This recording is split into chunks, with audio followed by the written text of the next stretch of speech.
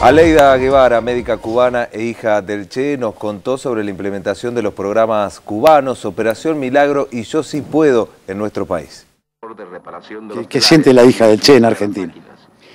Pues mira, nos ha enseñado siempre a ser sobre todo latinoamericano, es decir, a sentirnos como en casa en cualquier país de nuestra América. Y llegar aquí es llegar aparte también de mi patria.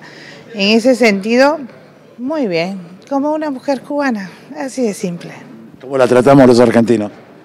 Bien, bien, y con mucho cariño también, de verdad, he recibido muchísimo afecto. Uno de los sueños de su padre era la integración justamente. Eh, usted es médica, eh, están trabajando en Operación Milagro. ¿De qué se trata esto? Operación Milagro surge, eh, digamos que como algo después de Operación eh, para Alfabetizar, que es el Yo sí puedo.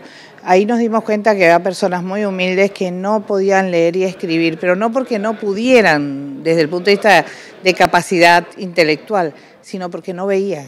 Entonces apareció esta operación devolviéndole la visión a las personas que tenían catarata o terigión, que son operaciones muy sencillas, muy simples, se corrige la visión, se les da los lentes que necesitan y ellos pueden entonces decidir si quieren aprender a leer y a escribir. Mientras haya personas que tengamos que operar, ahí vamos a estar, sin problema ninguno, al servicio del pueblo, para eso nos formaron.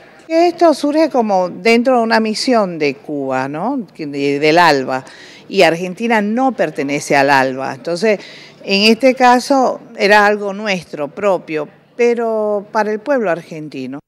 Pero por eso es que estamos diciendo y avisando que Cuba ya no va a poder mantener, por ejemplo, el, hospitalito que hay en Córdoba y que en ese sentido sería muy bueno que el Estado argentino se hiciera cargo, porque es un trabajo muy humano, muy bonito y, y de ayuda a la gente que más lo necesita.